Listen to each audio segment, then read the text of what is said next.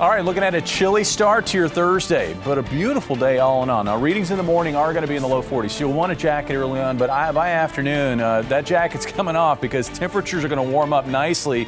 In fact, it looks like highs up near 70 degrees. Skies are going to be mostly sunny for the afternoon hours, and we've got a nice stretch of weather that's going to take us right into the upcoming weekend. 80s in the forecast, at least on Saturday. I'll more on that coming up. All right, Jamie, thank you. Let's get right to your top headlines. These stories are real new now. It's been nearly one year since a tornado outbreak in the Ozarks, and while there were no confirmed tornadoes from the storms last night, some are still left to clean up after the strong winds. Students at area colleges will finish the spring semester at home, but will they return in the fall? We speak with one university who says on campus classes will be back in session. And the coronavirus has also wreaked havoc on the state of Missouri's budget. What reductions will be made heading into the next fiscal year? Ozarks Fox News at 9 starts right now. Real, new, now. This is Ozarks Fox News at 9. Good evening. Thanks for joining us tonight. I'm Jennifer Abreu. And I'm John Adams. We are nearly one year removed from an outbreak of 26 tornadoes that resulted in damage all over the Ozarks. On April 30th, 2019, there were 11 EF0s. 14 EF1s and one EF2 tornado causing wide-ranging damage in the Ozarks. This video right here is one example. This was an EF2 tornado that swept through the city of Ozark. But today, people are picking up the pieces from a round of storms that swept through the area last night. Our Jesse Inman joins us now after catching up with some of those folks in the middle of the cleanup. Jesse. Yeah, that's right, guys. It was really nothing compared to what we saw last year. We had no confirmed tornadoes last night, but still some pretty strong winds that wreaked some havoc of their own and especially over in the area of Fort and Catalpa here in Springfield, where limbs and parts of some pretty big trees were split, laying all over yards and sidewalks. And right there in Fort, look at this one here we've got for you. One resident let us in her backyard to see that wind had snapped her neighbor's tree, which fell into her yard and flattened her fence, her shed, and her fire pit. Now, across the street, Abraham Mejia recruited the help of a friend to clean up some limbs strewn about his lawn. And Mejia told us that he has some other damage to tend to as well. On the back of my house, I had a carport that just got blown over. It got snapped. If if you look at it, you can see the, the metal beams where it was sitting on. They were snapped off, and right now it's just sitting on top of my roof. I'm waiting for insurance to call me back, but either that, if they don't call me back by tomorrow, we'll probably just bring it down. Lots of debris there. And one issue with that actually is the yard waste recycling center that people would normally take their limbs to to dump off in a situation like this is closed due to the stay at home order. So hopefully the city will be able to clear up some of that tomorrow. And Jen, I know you have more on that. Yes, Jesse, we'll know more details regarding the recycling centers and other businesses in Greene County tomorrow. Let's check in on those local news. So businesses around the state are set to open next week under Governor Mike Parson's Road to Recovery plan. But tomorrow morning, we'll hear what guidelines Springfield and Greene County leaders are handing out to local businesses. Mayor Ken McClure, Greene County Commissioner Bob Dixon, and Health Director Clay Goddard will announce the first phase to reopening. That's at 1030 tomorrow morning. We'll be streaming this press conference live on our website and Facebook page. Officials will also have a live question and answer session on Facebook to clarify any concerns with the public, and that is tomorrow afternoon at 2 p.m. And while we wait to find out what guidelines the city releases tomorrow, some businesses are already making adjustments. The Battlefield Mall announced that it will reopen its doors to shoppers starting on May the 4th. The mall will be implementing reduced hours and enhanced cleaning procedures. All employees will be screened before every shift. There will also be instructions from CDC guidelines and wear pro protective gear while on property. All shoppers will be encouraged to wear a face covering as well as frequently sanitizing hands at sanitizer stations placed throughout the mall. We are also learning about the latest cancellations due to COVID-19. The Springfield Convention and Visitors Bureau announced two more events have been canceled. The Gold Wing Road Riders Association canceled its Wing Ding 42 motorcycle rally in Springfield, scheduled for the end of June. But it is considering rebooking the event here in Springfield in either 2021 or 2022. And the National Street Rod Association Mid America Street Rod Nationals, scheduled for May 22nd through May 24th, has also been canceled.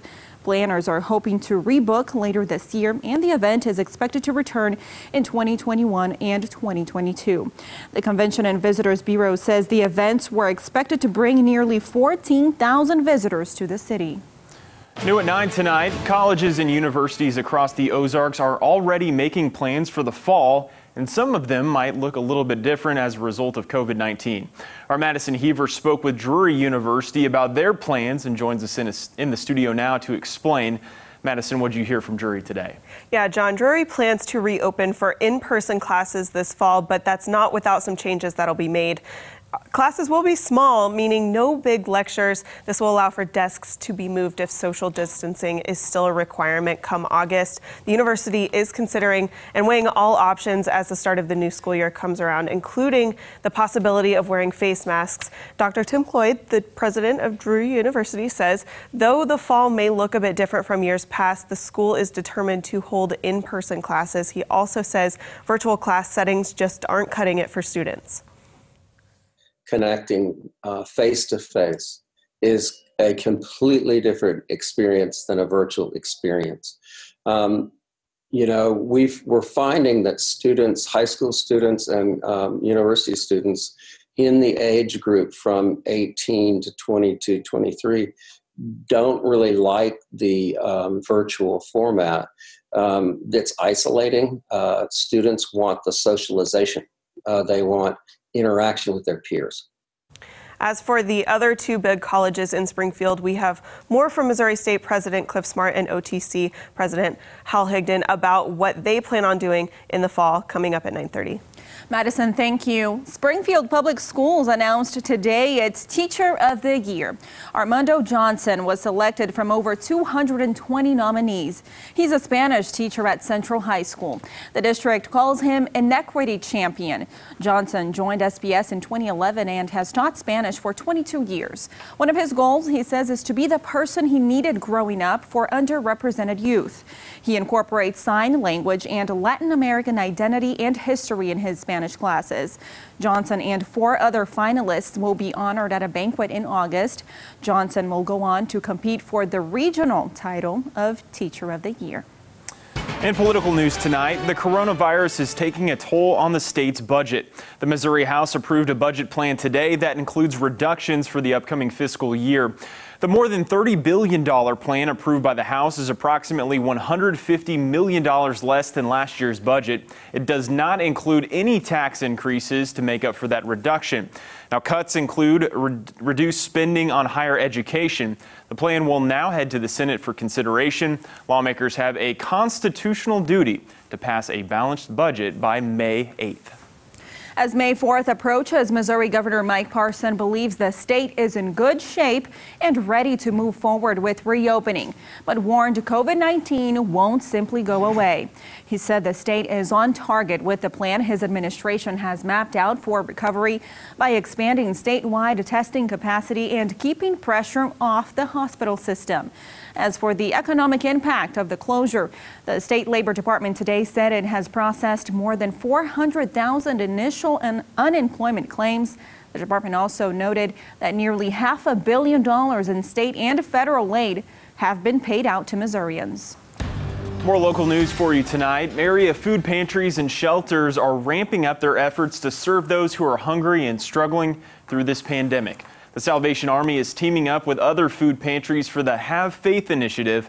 A spokesperson with the Salvation Army says they are joining Crosslines, Grand Oaks Mission, and Victory Mission for the initiative.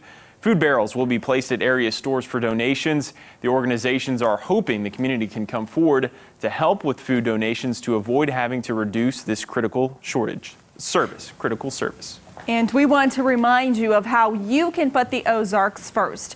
Ozarks Fox and KOLR 10 are hosting a fundraiser for Convoy of Hope, Ozarks Food Harvest, and Crosslines. You can join us tomorrow for stories of, of how these organizations are helping relieve hunger here in the Ozarks. These groups can take a dollar and turn it into seven or ten dollars. That's why monetary donations are so important. You can donate now on our website, ozarksfirst.com. You just click on the Putting the Ozarks First tab at the top of that page, and then join us tomorrow in every newscast as we share the stories of these local organizations.